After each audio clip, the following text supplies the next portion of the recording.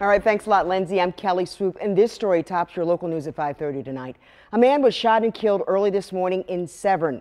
Police found him dead in the street, and detectives are still searching for a suspect.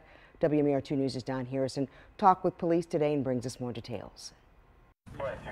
A little after midnight, county police were called to Pioneer Drive and Arwell Court in Severn for gunshots heard.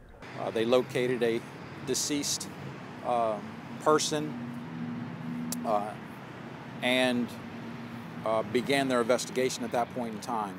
Police say 34 year old Brandon Davis of Windsor Mill was found lying in the street, apparently shot. Police say they searched the area and found some evidence and tell us they talked to several witnesses. Anne Arundel County Police do not believe there's a general threat to the public at this time, yet they're very concerned that somebody lost their life on the streets of the county.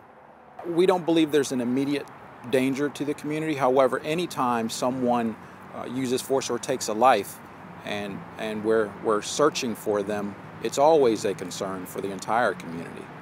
If you know anything about this crime, Anne Arundel County Police would like to hear from you. In Anne Arundel County, Don Harrison, WMAR 2 News.